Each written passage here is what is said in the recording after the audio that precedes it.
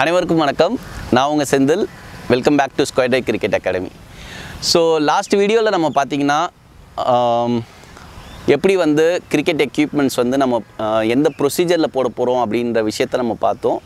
So இந்த வாரம் நம்ம என்ன கவர் பண்ண போகிறோம்னா front foot defence back foot defence so ஒரு பேட்ஸ்மனாக வந்துட்டு அவங்க கற்றுக்க வேண்டிய வெரி பேசிக் திங் வந்து ஒரு ஃப்ரண்ட் ஃபுட் போய் எப்படி ஆடி டிஃபென்ஸ் ஆடணும் பேக் ஃபுட்க்கு வந்துட்டு எப்படி டிஃபென்ஸ் ஆடணுன்றது ஸோ நம்ம வீடியோ போகிறதுக்கு முன்னாடி பேரண்ட்ஸ் ஆர் ஃப்ரெண்ட்ஸ் உங்கள் எல்லாருக்குமே நான் வந்து ஒரு சின்ன டெஸ்ட் மாதிரி uh, வைக்க போகிறேன் ஜஸ்ட்டு uh, இன்றைக்கோ இல்லை நாளைக்கோ வந்துட்டு உங்கள் பசங்களை கூப்பிட்டு இல்லை உங்கள் ஃப்ரெண்ட்ஸோட பசங்க யாராவது உங்களுக்கு ரொம்ப தெரிஞ்ச குட்டி பசங்க ஒரு ஒரு டென் இயர்ஸ் அபோவ் இருக்கிற பசங்களை கூப்பிட்டு ஜஸ்ட் அவங்கள வந்து ஒரு காலில் இப்படி வந்துட்டு ஒன் மினிட் நிற்க சொல்லுங்கள் இல்லை அப்படின்னா ஜஸ்ட் ஹோல்ட் அண்ட் ஸ்டாண்ட் சரிங்களா?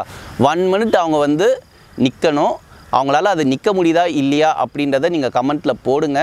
இது ஒன்றும் தப்பான விஷயம் இல்லை. ஜஸ்ட்டு எதுக்காக சொல்கிறேன்றதை நான் நெக்ஸ்ட் வீடியோவில் உங்களுக்கு எக்ஸ்பிளைன் பண்ணுறேன் இதை ஜஸ்ட்டு உங்கள் பசங்களுக்கு டெஸ்ட் பண்ணிவிட்டு நீங்கள் கமெண்ட்டில் நீங்கள் போடுங்க நீங்கள் so once again welcome back to square cricket academy வாங்க வீடியோக்குள்ளே போகலாம் ஸோ இப்போ இந்த வீடியோவில் நம்ம வந்துட்டு ஃப்ரண்ட் ஃபுட் ஃபஸ்ட்டு வந்து ஃப்ரண்ட் ஃபுட் டிஃபென்ஸ் நம்ம பார்க்க போகிறோம் ஸோ ஃபஸ்ட்டு கார்டு எடுங்க.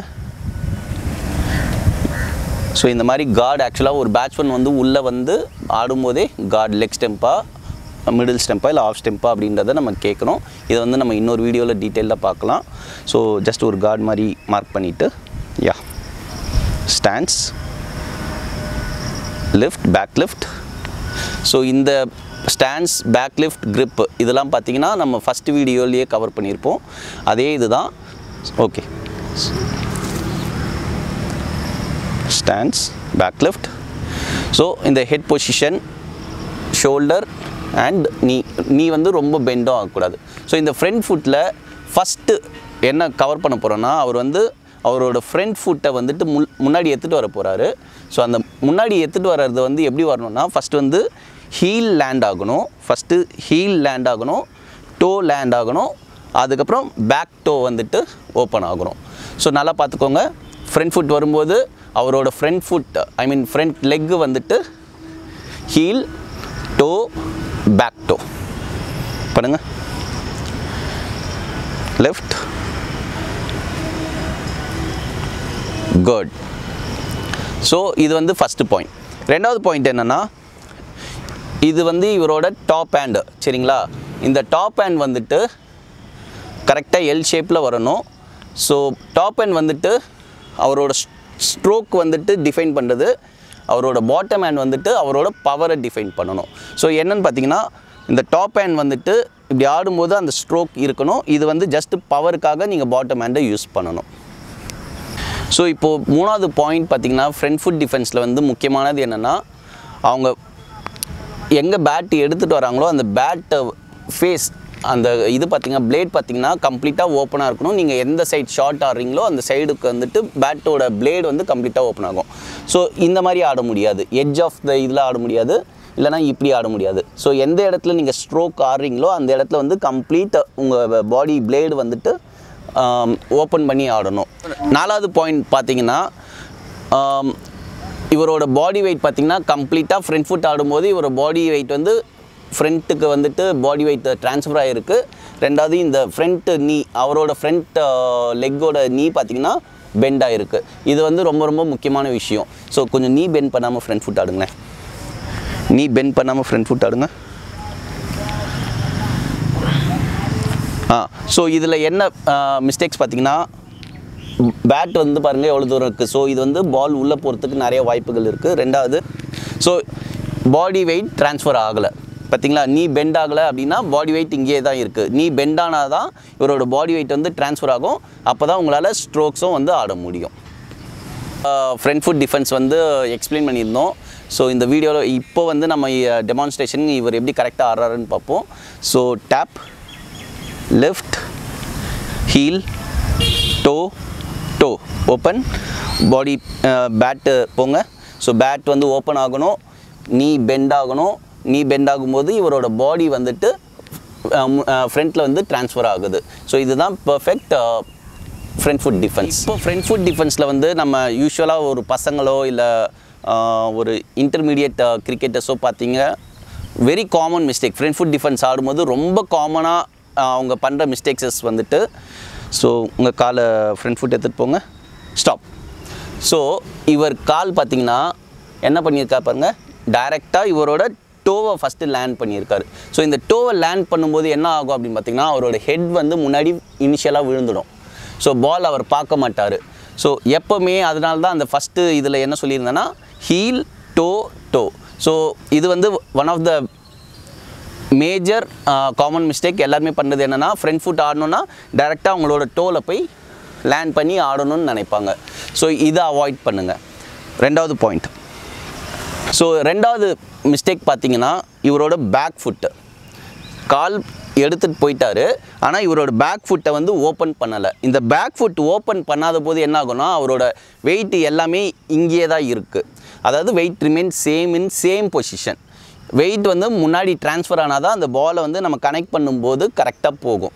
ஸோ இது வந்து செகண்ட் மேஜர் காமன் மிஸ்டேக்ஸ் எல்லாருமே பண்ணுறது பேக் டோ வந்து ஓப்பன் பண்ண மாட்டாங்க ஃப்ரண்ட் ஃபுட் ஆடும்போது. நம்ம பிகினர்ஸ் வந்துட்டு இப்போ கொஞ்சம் நீயே வந்து பெண்ட் பண்ணி ஆடுன்னு சொன்னாங்கன்னா அவங்க என்ன பண்ணிடுவாங்கன்னா இப்படி பெண்ட் பண்ணிடுவாங்க. ரொம்ப பெண்ட் பண்ணிடுவாங்க. இல்லை அப்படின்னா பெண்டே பண்ண மாட்டாங்க இப்படி நிற்பாங்க ஸோ இது வந்து ரொம்ப ரொம்ப காமன் மிஸ்டேக் நம்ம ஃப்ரண்ட் ஃபுட் ஆடும்போது ஆடுறதுக்கு முன்னாடி ஜஸ்ட் வெரி மைன்யூட்டாக நீங்கள் நீ பெண்ட் பண்ணும்போது என்ன ஆகும்னா நீங்கள் வந்து போலஸ் ரிலீஸ் பண்ணுறதை வாட்ச் பண்ணலாம். ரொம்ப குனிஞ்சிட்டிங்கன்னா உங்களால் பார்க்க முடியாது.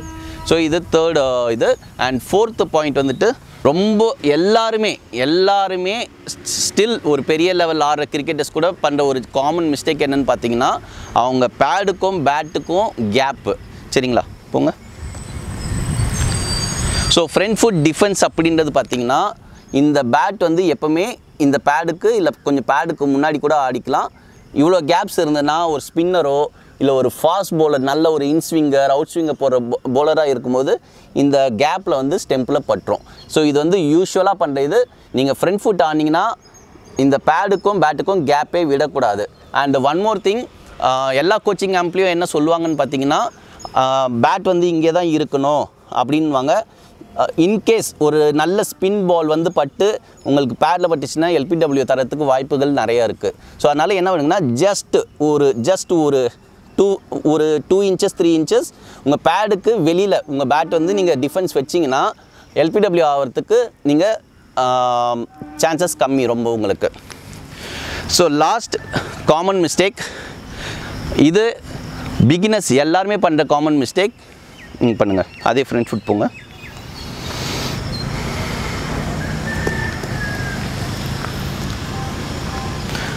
ஹோல் என்னென்னா அவங்க ஆடி முடிச்சிட்டாங்க. இப்போ எல்லாமே பர்ஃபெக்டாக வந்துருச்சு. ஆடி முடிச்சதுக்கு அப்புறமேட்டு பார்த்தீங்கன்னா அவங்க ஹெட் பொசிஷன் எப்போவுமே கிரவுண்டை தான் பார்ப்பாங்க.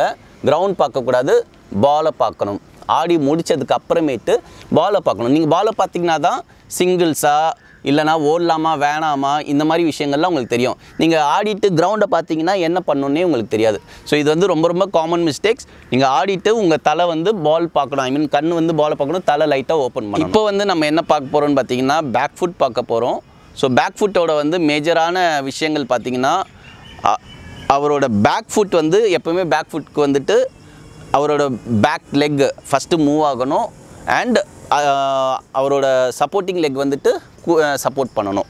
ஸோ பண்ணுங்கள் one two and back foot stop so இவரோட பேக் ஃபுட் பார்த்தீங்கன்னா அவர் லெக் ஸ்டெம்ப் கார்டு எடுத்திருந்தார் பட் இப்போ அவர் எந்த எந்த ஸ்டெம்பை கவர் பண்ணியிருக்காரு பாருங்க ஆஃப் ஸ்டெம்ப்பு ஸோ இதுதான் வந்து பேக் ஃபுட்டோட ஃபஸ்ட்டு பாயிண்ட் என்னென்னா you should come back to your off stump அதாவது உங்களோட ஸ்டெம்பை வந்து கம்ப்ளீட்டாக கவர் பண்ணணும் பேக் ஃபுட் அண்ட் இந்த லெக் எடுத்துகிட்டு வாங்க.